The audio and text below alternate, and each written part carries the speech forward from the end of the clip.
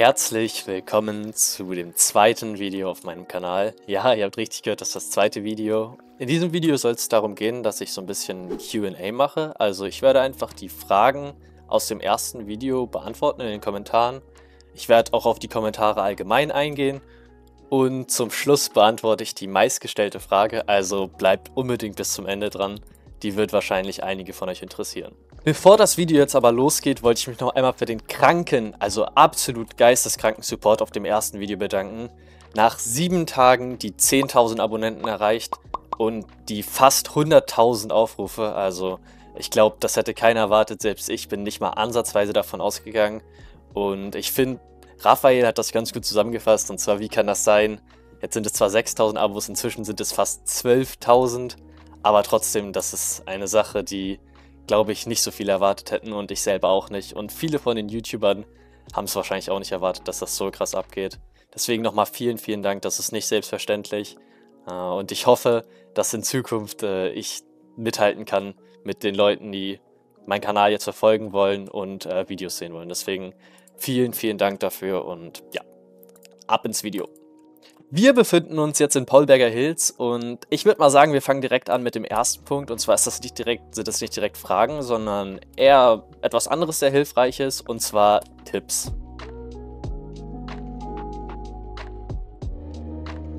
Ihr habt in den Kommentaren unzählige Tipps dargelassen und ich würde jetzt auf jeden Fall auf ein paar eingehen oder mich auf jeden Fall dafür erstmal bedanken, dass ihr die Tipps dargelassen habt, weil Tipps sind wirklich die Möglichkeit, äh, mich zu verbessern oder zu sehen, wo ich mich noch verbessern könnte. Und deswegen würde ich jetzt, wie gesagt, auf ein paar Tipps eingehen. Der erste Tipp, den ich bekommen hatte, der wirklich, wirklich praktisch ist und nochmal vielen Dank dafür ist, dass ich im Game Mode oder insgesamt die Game Modes nicht per Command unbedingt wechseln muss, sondern dafür auch noch es weitere Tasten gibt. Und zwar, wenn man F3 und F4 gleichzeitig gedrückt hält, dann kommt man in so ein kleines Menü wo man mit F4 zum Beispiel durchswitchen kann. Und so kann ich zum Beispiel ganz schnell zwischen Spectator, Adventure, Survival oder Creative Mode wechseln. Das ist unheimlich praktisch. Also vielen, vielen Dank für den Tipp. So, der zweite Tipp oder eher eine Anmerkung, welche ich als Tipp aufpasse, ist, ähm, dass meine Tastatur ein wenig zu laut war. Das Ganze, da muss man nicht wirklich hinhören. Ich glaube, das hört man auch so ganz gut raus, dass die ziemlich laut ist. Es ist tatsächlich einfach nur eine mechanische Tastatur, das heißt, sie ist einfach ein bisschen lauter, wenn man sie runterdrückt. Das Ganze habe ich jetzt aber versucht in diesem Video zu fixen, indem ich einfach ein bisschen Hintergrundunterdrückung angestellt habe. Ich hoffe, das ist in diesem Video besser. Ansonsten kümmere ich mich um eine weitere Lösung oder um eine andere Lösung in Zukunft. Als nächstes kam noch der Tipp, was auch wirklich ein guter Tipp ist, dass ich Hintergrundmusik in meine Videos packe. Und ich weiß nicht, ob ihr es schon gehört habt, aber es gibt auf jeden Fall jetzt Hintergrundmusik in den Videos. Und ich hoffe, dass das noch ein bisschen mehr äh, mehr Stimmung in die Videos bringt. Und ja, wie gesagt, ein sehr guter Tipp und vielen Dank nochmal dafür. Kommen wir als nächstes zu, ja, es sind keine Fragen gewesen, aber eine Sache, die auf jeden Fall jetzt auch in letzter Zeit verhäuft in den Kommentaren gewesen war. Und zwar das Thema Sue und das Handicap oder dass ich seine Sachen weggenommen habe. Und ja, ich habe Sue seine Sachen weggenommen, das stimmt. Also das kann ich gar nicht bestreiten oder irgendwas. Das wisst ihr auch alle. Seine Sachen sind wirklich weg.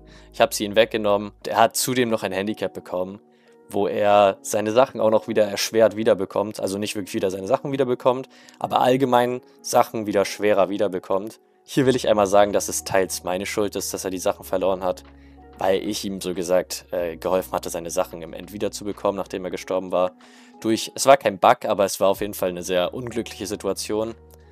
Und ja, wie gesagt, ich möchte auch nochmal ganz klar gesagt sagen, dass das Handicap nicht von mir kommt, sondern das kommt von der Person, die sich bei mir gemeldet hatte. Wenn es nach mir ginge, dann hätte Sue seine Sachen gar nicht verlieren müssen. Ich hatte ihm ja auch geholfen, seine Sachen wiederzufinden. Und er hätte von mir auch gar kein Handicap bekommen. Das wird ja gar keinen Sinn machen. Ich stehe da wirklich voll hinter Sue. Meiner Meinung nach hat er das Handicap auch wirklich nicht verdient. Ich glaube, da seid ihr auch meiner Meinung. Deswegen müssen wir ganz schnell, oder ich kann da ja nicht helfen, ich weiß ja, wer die Person ist, aber es muss ganz schnell die Person gefunden werden, die dahinter steckt, damit diese überzeugt werden kann, dass Hugh vielleicht seine Sachen wiederbekommt oder dass wenigstens das Handicap entfernt wird. Deswegen, das wäre sehr praktisch. Ich hoffe, das Ganze klärt sich einfach auf. Wichtig ist halt wirklich, ich bin auf Hughs Seite. Äh, ich habe, wie gesagt, auch Teilschuld, da ich ihm geholfen habe. Trotzdem kann ich Sue halt seine Sachen nicht einfach so wiedergeben, falls sie das jetzt denkt oder so. Jeder auf der Insel sollte ihm dabei helfen, die wiederzubekommen. Und ich glaube, gemeinsam wird das auch kein Problem, dass Hugh dann wieder seine Sachen wiederbekommt. Und Nein, es war kein Prank von mir. Also, guter Versuch, aber ich glaube, so fies und so böse bin ich jetzt auch nicht. Klar, ich spiele ab und zu mal Pranks, aber das wäre schon, glaube ich, eine Nummer zu weit. Kommen wir zu einer weiteren Frage, oder diesmal wirklich einer Frage, und zwar, wie wird man Admin? Also, das ist eigentlich ganz einfach beantwortet. Das Einzige, was ihr machen müsst, ist slash op und dann halt den Namen eingeben. In dem Fall ElixirPZ, das ist mein Ingame-Name. Und dann seht ihr, ja, ich bin jetzt schon Operator, das heißt, nichts hat sich verändert und jetzt bin ich Admin der YouTuber. Und jetzt kann ich rumfliegen, kann mein Game-Mode ändern. Also, ich könnte jetzt auch in Spectator-Mode gehen oder irgendwas anderes, deswegen... Ja, genau, so werdet ihr Admin, also ganz einfach beantwortet. Ein Spaß. Also, so einfach geht das natürlich nicht. Es steckt schon ein bisschen mehr dahinter und ich werde jetzt natürlich nicht alles verraten oder kann ich auch gar nicht den ganzen Hintergrund. Aber hm, wie kann ich das am einfachsten sagen? Ich sag's mal so, man muss Glück haben und ihr müsst euch damit auskennen, wie man zum Beispiel so einen Server aufsetzt, so einen Minecraft-Server, wie der auch performant ist und wie man zum Beispiel Plugins oder Mods installiert. Ich glaube, das ist die Grundbedingung dafür. Wichtig ist aber auch, ihr müsst am besten auch die Leute kennen, die dann auf dem Server spielen wollen. Also wenn ihr jetzt irgendwie einen Server aufsetzt und aber die Person, die diesen Server braucht, euch gar nicht kennt oder sowas, dann ist es natürlich nicht hilfreich. Deswegen, das ist so eine Mischung aus Glück und Können. Und wenn ihr das beides beherrscht, dann ist es trotzdem nicht zu 100%, dass ihr so ein Admin werdet. Mm, das Einzige, warum ich wirklich der Admin bin, ist, weil ich diesen Server aufgesetzt habe und diese Berechtigung hier auf diesem Server habe. Ich hoffe, damit konnte ich eure Frage beantworten und ja. Kommen wir zum nächsten Punkt. Also, wieso spielst du nicht selber mit? Oder könntest du mal selber mitspielen?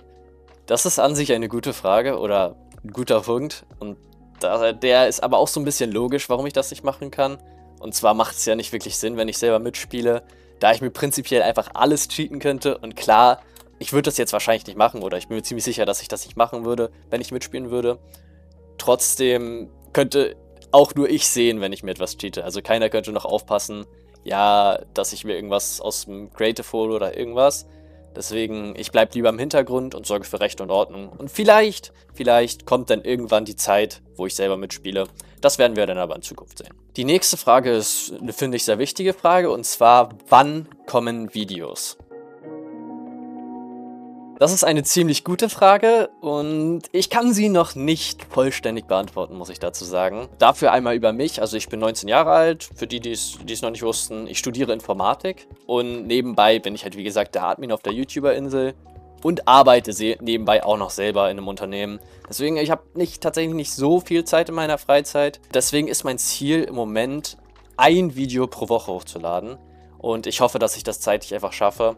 Ich werde mir aber in nächster Zeit auf jeden Fall überlegen, wie ich es schaffe, mehr hochzuladen. Im Moment mache ich halt, wie gesagt, alles selber. Das heißt, ich mache Thumbnail selber, ich cutte selber und die Videos aufnehmen tue ich natürlich auch selber. Und das Ganze nimmt doch schon ein bisschen Arbeit in Anspruch. Deswegen muss ich mir noch was überlegen, wie ich das genau lösen kann. Oder ob ich vielleicht einfach schneller werde in dem Ganzen oder besser. Natürlich werde ich besser, je mehr ich es mache. Deswegen vielleicht, vielleicht äh, kommt in Zukunft auf jeden Fall mehr als ein Video pro Woche. Aber erstmal belasse ich es dabei und hoffe, hoffentlich werden diese Videos dann qualitativ hochwertiger. Da es jetzt noch ganz gut dazu passt, äh, kam letztes Mal auch die Frage, welche Software ich zum Cutten benutze. Und ich benutze einfach bei allem, also auch beim Thumbnail oder anderen, benutze ich die Adobe-Sachen, also in dem Fall Premiere Pro zum Cutten und Photoshop zum Thumbnail machen, also zum Bilder bearbeiten. So, ich bin mittlerweile hier bei einem neuen Ort. Ich weiß gar nicht genau, wie der heißt, aber ich glaube, der ist von Elina, Flauschi und Easy Cheesy. Aber das könnt ihr auch nochmal in die Kommentare schreiben. Ich glaube, das ist deren neue Stadt. Kommen wir aber jetzt direkt zur nächsten Frage. Und zwar, was für Content kommt als nächstes? Um diese Frage zu beantworten, hatte ich euch ja extra gebeten im letzten Video, dass ihr in den Kommentaren einmal schreibt, was ihr für Videos gerne sehen wollt. Und da waren wirklich einige gute dabei und die würden wir uns jetzt einfach mal angucken. Okay, das erste ist, ich habe eine Idee für ein Video und zwar kannst du ein Video machen, wenn jemand gebannt wird. Ich glaube, das spielt daran an, dass ich einfach mal, wenn jemand gebannt wird, selber aus meiner Perspektive ein Video mache, wie das Ganze von meiner Seite abläuft und welche Gedanken ich mir zum Beispiel dabei mache, wenn ich eine Person banne. Das Ganze wird ja nicht einfach so aus Lust und Laune gemacht. Als nächstes haben wir Luis und zwar, hallo Lukas, wie wäre es denn mal, wenn du den Spawn, also Candys alte Stadt, mal verschönerst oder reparierst? Ich glaube, das ist eine gute Idee. Ja, er sieht ja nicht wirklich schön aus.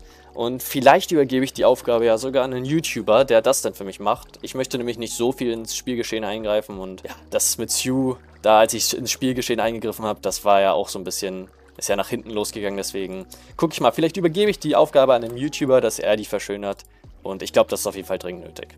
Als nächstes haben wir Yoshi und zwar sagt Yoshi, Videoidee für den besten Admin. Vielen Dank dafür, aber trolle ein paar YouTubers Idee und natürlich nicht zerstören in Klammern, auch sehr wichtig. Ich möchte ja niemanden wirklich hier schaden, indem ich ihn trolle, aber ich glaube, so ein, zwei Leute habe ich schon im Auge, die man auf jeden Fall trollen könnte und ich glaube, das lässt sich auf jeden Fall machen. Als nächstes haben wir TJ Crafter und zwar schreibt TJ Crafter, könntest du mal PvP spielen? Also, ich weiß nicht, wie ich sagen soll, aber ich bin gar nicht so schlecht im PvP. Also wäre es vielleicht eine Möglichkeit. Ich bin jetzt aber auch nicht der Beste und ich weiß nicht, ob ihr das unbedingt sehen wollt, wie ich, keine Ahnung, von anderen Leuten komplett hochgenommen werde. Deswegen mal gucken, ob es eine Videoidee wird oder nicht. Und ja, also aber trotzdem eine gute Idee und vielen Dank. Als nächstes haben wir hier Christos und zwar schreibt Christos, was cool wäre, 24 Stunden YouTube-Gespräche hören. Also ich schätze mal, du meinst, dass ich hier 24 Stunden mich auf die Lauer lege und irgendwelche anderen YouTuber belausche. Ich glaube, das ist eine ziemlich gute Idee und ich weiß jetzt nicht, ob ich 24 Stunden durchhalte, aber ich glaube, da lässt sich auf jeden Fall was machen und ich habe da auch wieder hier ein paar Kandidaten im Blick, die auf jeden Fall ein bisschen aktiver spielen, wo ich auch ein paar mehr Minuten oder mehr Stunden äh, den zuhören könnte und mal gucken, ob ich da irgendein Geheimnis erfahre oder irgendwas anderes. Also ich glaube, das ist auf jeden Fall eine gute Idee und die kriege ich bestimmt auch umgesetzt. Kommen wir jetzt aber zu dem letzten Kommentar. Und zwar ist der von David. Und zwar David geschrieben, Hi Lukas, ich fände es cool, wenn du mal einen Tag als Admin zeigst. Also was du machst, auf welcher Oberfläche das Ganze stattfindet und so weiter. Das ist ein sehr, sehr cooler Vorschlag. Ich weiß aber nicht unbedingt, ob das Ganze so spannend ist. Ich möchte zwar nicht zu viel verraten, aber die Tage kommt was auf euch zu, wo ihr auf jeden Fall die Oberfläche sehen werdet, also die Oberfläche, wo ich das Ganze administriere und wie das Ganze aussieht. Wenn ihr euch das wirklich wünscht, dann kann ich auch mal ein Video darüber machen, wie das Ganze so direkt im Hintergrund aussieht, also jetzt nicht in Minecraft, sondern auch außerhalb von Minecraft. Aber das könnt ihr gerne in die Kommentare schreiben, wenn ihr gerne ein Video darüber haben wollt. Wir sind jetzt wieder hier am Anfang und jetzt kommen wir zu der mit Abstand meistgestellten Frage in den Kommentaren und zwar, wie kommt man auf die YouTuber-Insel. Das Ganze ist gar nicht mal so schwer, wie ihr wahrscheinlich denkt. Natürlich müsst ihr einige Sachen vorab erledigt haben, wie zum Beispiel ihr braucht die Java-Version von Minecraft, also das ist die Version, auf der der Server läuft, und ihr braucht die Version 1.20.2 in Minecraft. Das sind eigentlich auch schon die einzigen Bedingungen, die ihr braucht. Und zwar ist das Ganze gar nicht so schwer, auf den Server raufzukommen. Wie gesagt, wenn ihr die Bedingungen erfüllt habt, müsst ihr nur noch eine Sache machen. Ups, ich glaube, das wollte ich hier gar nicht hinbauen. Aber das Einzige, was ihr wirklich machen müsst, ist, äh, ja, ich glaube, das zeige ich euch einfach am besten, indem ich das selber einmal vorführe. Und zwar einfach wieder einmal hier zurück ins Menü. Hier seht ihr eure Server und beispielhaft löschen wir jetzt einfach mal diesen Server. Also das ist jetzt die YouTuber-Insel, ist gerade niemand online. Aber äh, ich lösche den jetzt einfach mal. Und ja, der fragt nochmal nach, ob ich das wirklich löschen möchte. Ja, wir löschen das in dem Be Beispielfall. Und hier könnt ihr einen neuen Server hinzufügen. Also auf Server hinzufügen, da geht ihr einmal rauf. Da müsst ihr dann einfach Namen eingeben. Das ist eigentlich relativ egal, was ihr da macht. Also ich sage jetzt einfach YouTuber Insel 2 wieder. Und das Wichtigste ist, hier einmal die Serveradresse hinzugeben. Und die Serveradresse ist einfach nur YouTuber. Also YouTuber-insel.grewgrows.de. Und wichtig ist, ich blende hier nochmal ein, wichtig ist, dass ihr diese Adresse eingebt, weil mit einer anderen kommt ihr natürlich nicht auf den Server. Das Ganze könnt ihr überprüfen, ob das funktioniert hat, indem ihr einfach auf Bestätigen drückt, also Fertig drückt. Und dann seht ihr hier diese Insel, seht hier die Slots, auch 40. Und auf das Ganze könnt ihr dann einfach raufjoinen. Und wir sind drauf auf der YouTuber-Insel. Ja, jetzt seht ihr da unten links noch You're still visible. Das ist meine typische Nachricht, die jedes Mal kommt. Er ist still invisible, also ich bin immer noch unsichtbar. Das ist die typische Nachricht, die bei mir kommt, wenn ich äh, den Server beitrete, weil ich ja im Super Vanish bin. Ja, wie gesagt, ihr müsst aber bedenken, dass nur eine bestimmte Anzahl an Leuten auf den Server können. Also ich glaube, das waren 40. Könnt ihr ja gleich nochmal, also ihr habt das bestimmt eben gesehen. Ich glaube, es sind 40, die rauf können.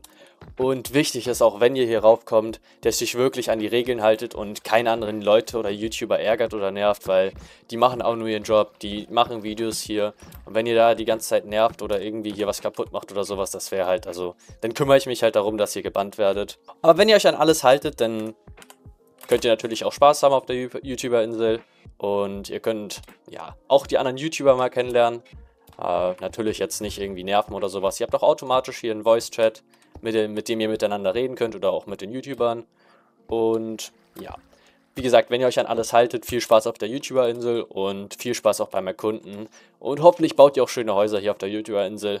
Vielleicht sogar in Paulberger Hills. Mal sehen. Ja, so einfach ist das Ganze auch. Und ja, ich hoffe, ihr habt wie gesagt Spaß auf der YouTuber-Insel. Wie gesagt, benehmt euch und ansonsten muss ich dagegen etwas machen. Warte mal. Habe ich gerade die Serveradresse gelegt? Nein, das Ganze war natürlich nur ein Spaß.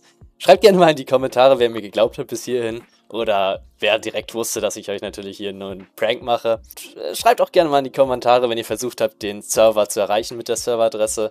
Und schreibt auch sehr gerne mal in die Kommentare, was denn passiert, wenn ihr es versucht. Und wenn ihr es noch nicht probiert habt, könnt ihr auch gerne nochmal ausprobieren, was passiert. Ich glaube, das Video zu teilen, um zu gucken, wie eure Freunde reagieren, wenn sie vermeintlich auf die YouTuber-Insel joinen wollen. Hm, ich glaube, da könnt ihr auch eine gute Reaktion bekommen oder so. Oder die mal pranken. Deswegen teilt das Video gerne mit den Freunden und mal gucken, wer auf diese auf das Ganze reinfällt und wer nicht. Ja, aber Spaß beiseite. Die richtige Antwort auf diese Frage ist noch gar nicht. Und was meine ich mit noch gar nicht? Es wird genau wie bei der YouTuber Insel 1 eine Bewerbungsphase geben, wo eure Bewerbungen angeschaut werden und sich dann für einzelne Leute entschieden wird. Wer diese Leute sein werden, entscheide nicht ich oder eher gesagt nicht ich alleine, sondern alle auf der Insel. Natürlich könnt ihr schon Videos hochladen und ich habe auch schon einige vielversprechende Videos oder eher gesagt Bewerbungen gesehen. Also mal gucken, was noch kommt. Den genauen Zeitpunkt der Bewerbungsphase weiß ich außerdem auch selber noch nicht, aber ihr werdet es erfahren, sobald es soweit ist. Damit würde ich mich aber auch schon aus diesem Video verabschieden. Lasst gerne ein Abo und ein Like da und vergesst natürlich auch nicht die Glocke zu aktivieren, um kein Video mehr zu verpassen. Mal sehen, was auf euch noch auf jeden Fall in Zukunft äh, noch auf euch zukommt. Und wer bisher bis hierhin geschaut hat, also bis zum Ende, schreibt gerne einmal YouTube-Insel, also Hashtag YouTube-Insel. Ich blende es hier nochmal ein. Hashtag YouTube-Insel in die Kommentare und die Personen oder die Personen, die da schreiben, die kriegen auf jeden Fall ein Like von mir dafür, dass ihr hier auf jeden Fall das Video bis zum Ende geschaut habt. Und damit würde ich mich verabschieden und bis zum nächsten Video.